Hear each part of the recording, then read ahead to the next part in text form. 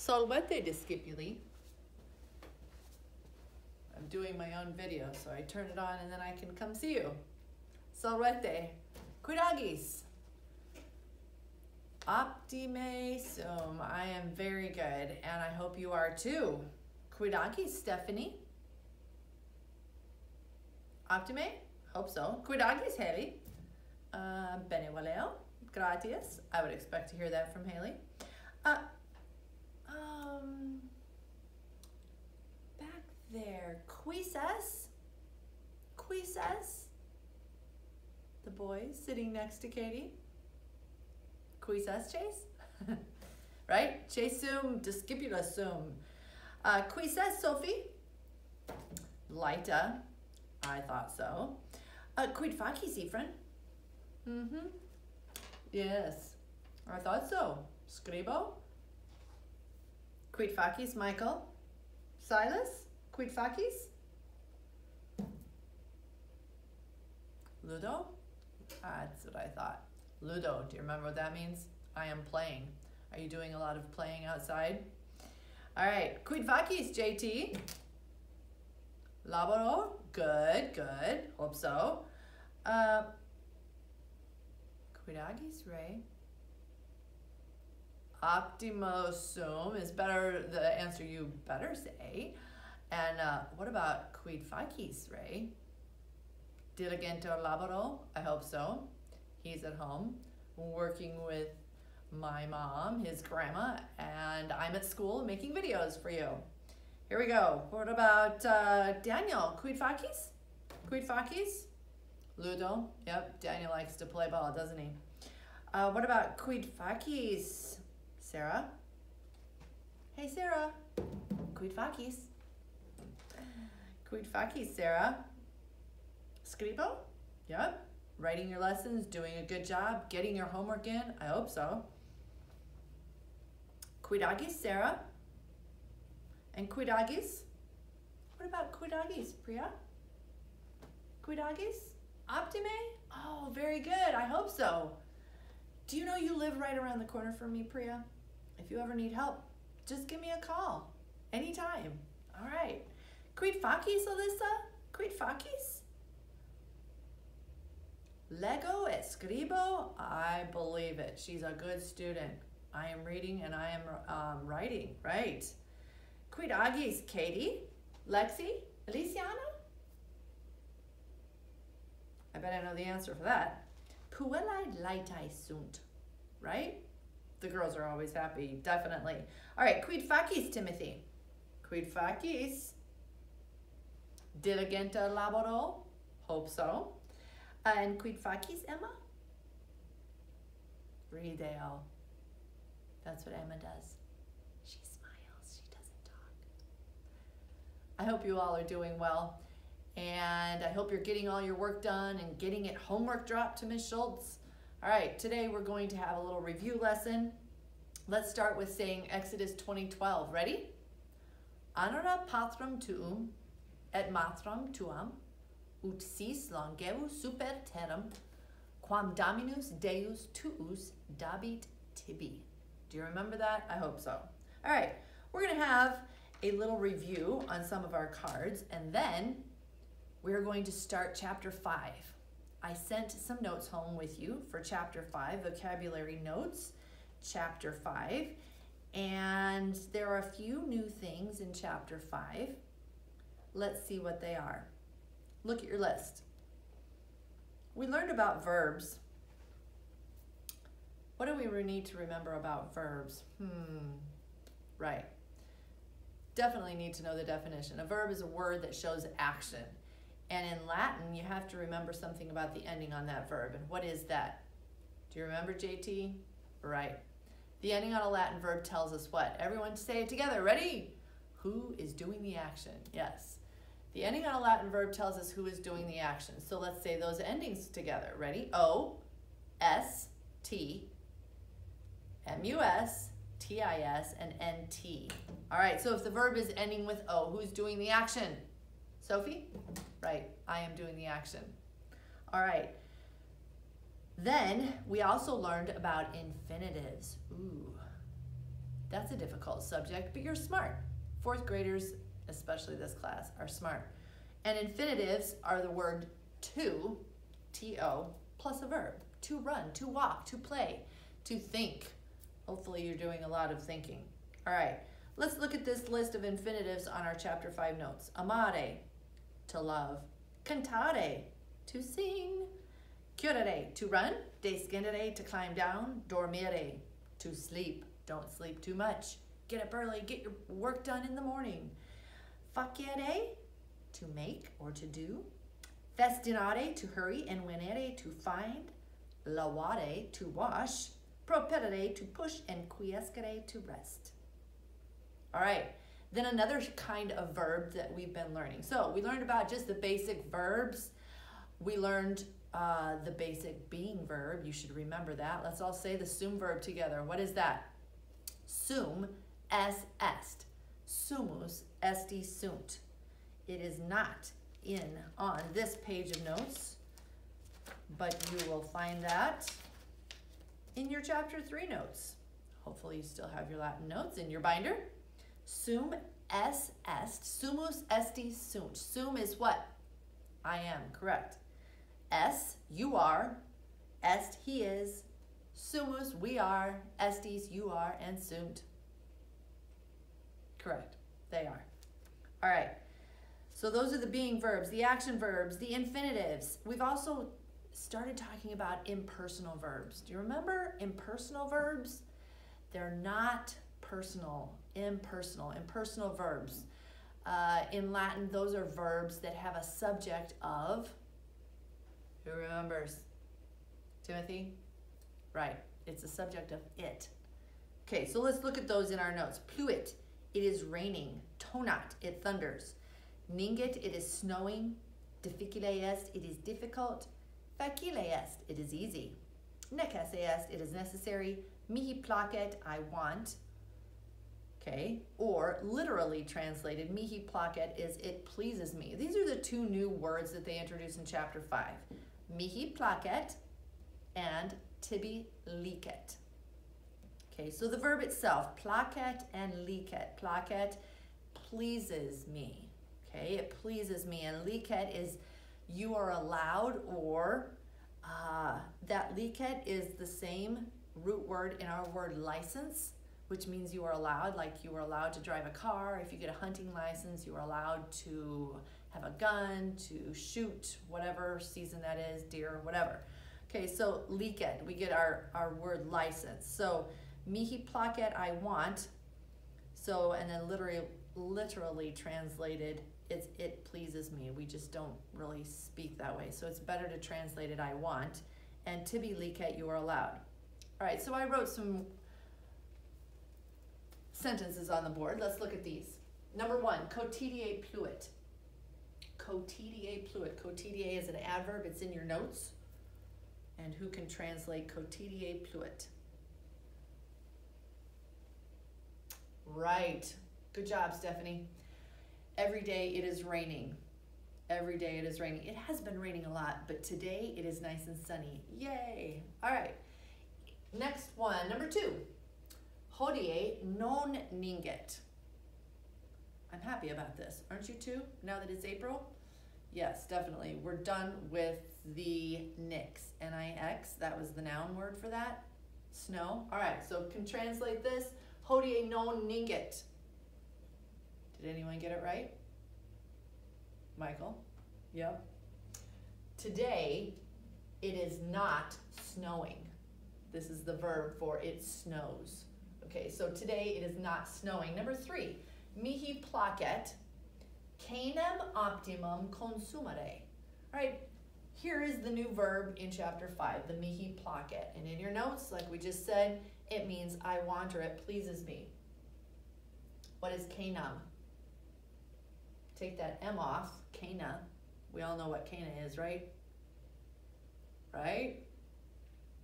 Oh, yes. Kaylee? Yes, cana is dinner. Optima is very good. And consumere, hmm, that's an easy one. Consume, do you know what it means to consume? Yes, to eat something up. All right. Or to use something up. So consumere means to eat. So I want, mihi placet, or it pleases me, I want to eat the best dinner. All right, or the very good dinner. I want to eat a very good dinner. Number four, tibi licet ad vilam curere. All right, new verb. Here it is, the licet. Look in your notes. You are allowed. Tibi licet. You are allowed. Curere. You remember what curere means? Sarah? Right. Curere is to run. So curere ad vilam to, that's a preposition. Haha, and you're learning prepositions now in English class. Are you learning them? Aboard, about, above, across, after, against, along? All right, hopefully. Uh, ad is to. It can mean to. It can mean to, it can be translated towards. Uh, to and what is wila? The M is there. Remember why? Right. It changed its job in the sentence. Exactly. Okay, so it's the object of the preposition. Oh, see how all this intertwines? If you're paying attention in English class and in Latin class, they kind of go together. Right. All right. So, to the house. And what is this one?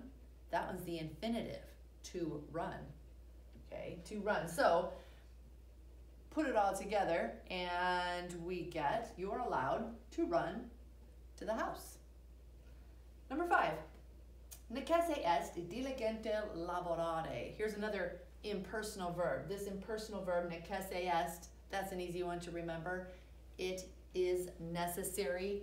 It is necessary, what? To work. Yes, diligently or carefully. All right, very good. Let's open up our books. Hopefully you all took a, a blue Minimus book home. Minimus secundus. You know what that means, right? The second Minimus secundus. Right. All right, so turn to uh, page number 34, chapter number 5. I'm going to turn on the CD and we'll listen to chapter 5. Romans and Britons. Britons are best.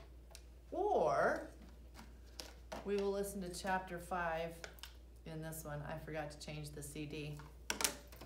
So pop this one out and put in the one for minimus secundus.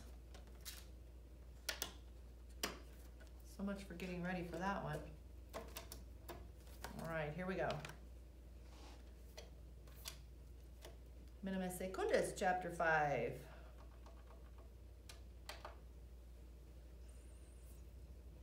November. News from near and far. Sad news. Flavius has been visiting the soldiers in the fortress. Chapter He 5. has heard some sad news. Box 1. Carissime, cur tam tristis est, Quod duccius mortuus est, quis duccius est, Lucius Ducius Rufinus, miles optimus erat. Sine erat. Quid sine est? Sine there signum in proelium portat. Box four. Sine quoque stipendium curat. Sine stipendium sub sacello custorit. Five. Mihi placet sculpturem optimum invenire. Florius celeriter exit. Flavius officinam intrat. salve, salve, quid vis, signifer nomine Lucius Duccius Rufinus mortuus est, volte titulum splendidum facere, Eta vero.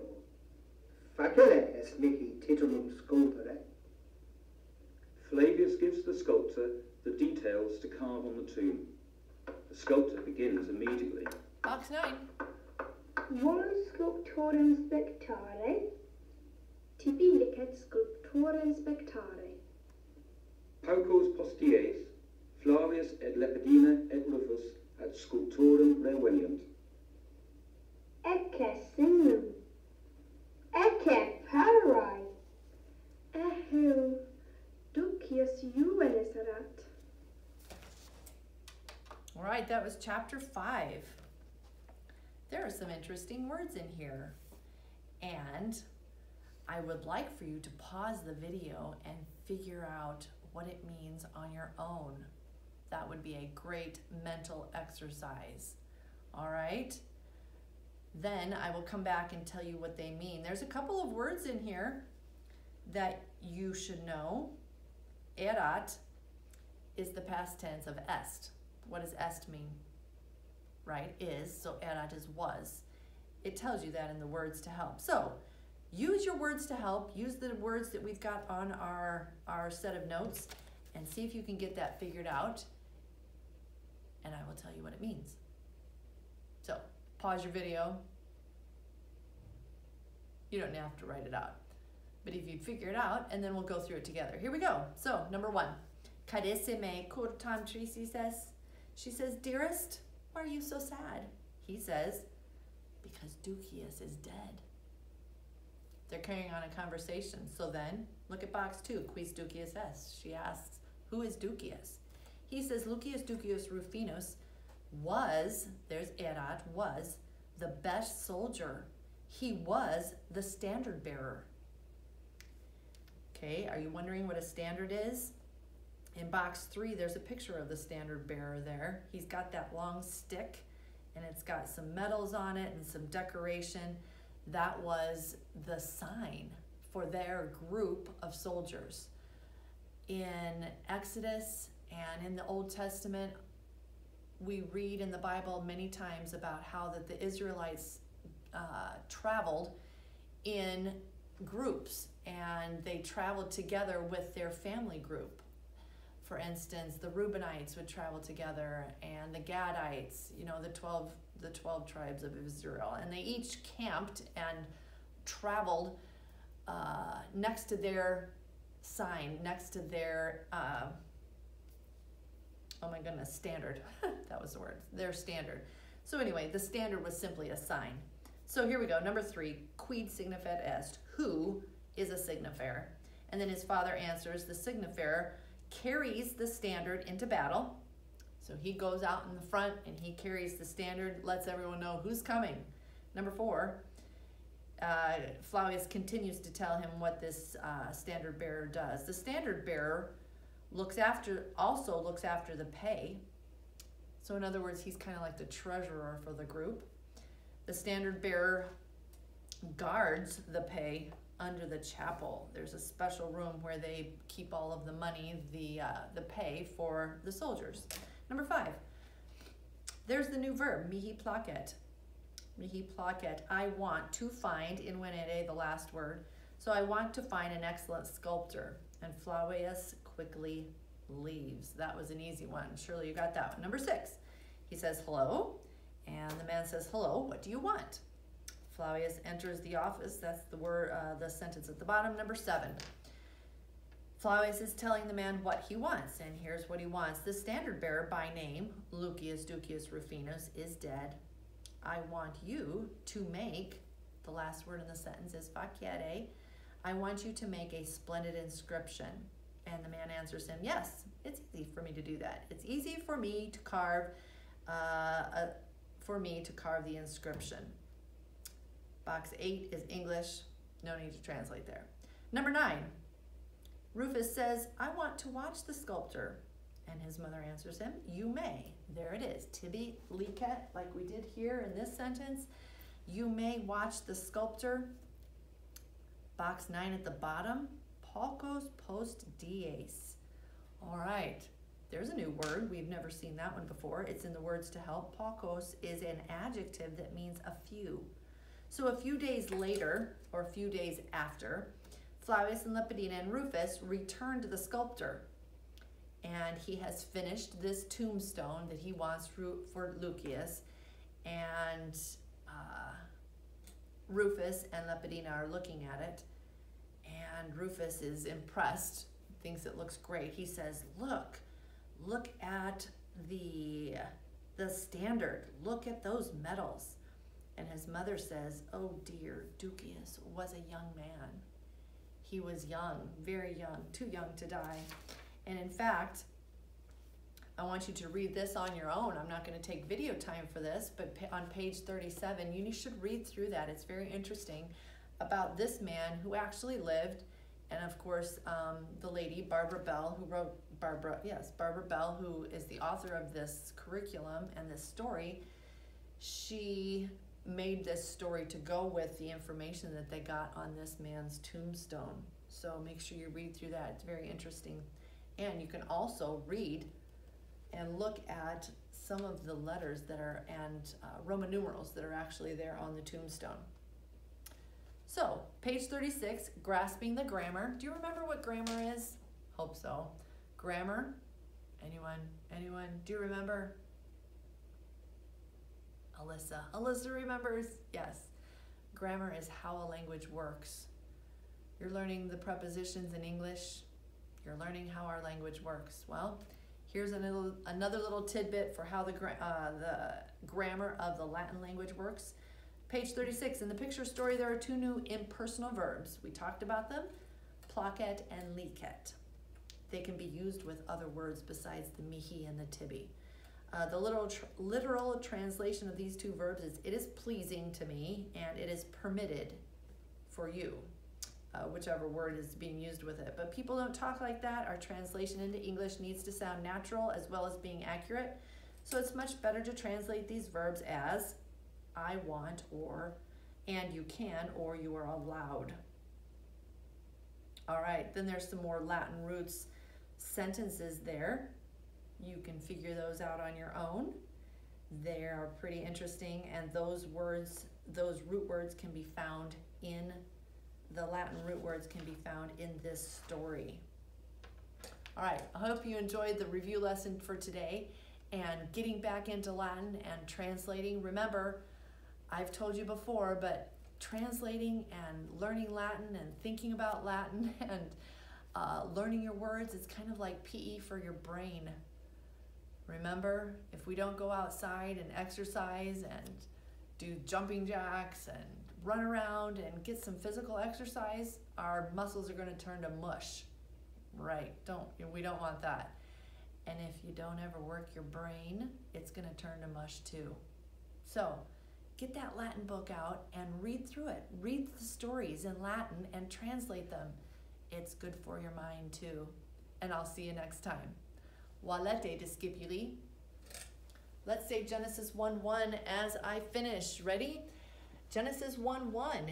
In principio creavit Deus caelum et terram. Wale and goodbye for now.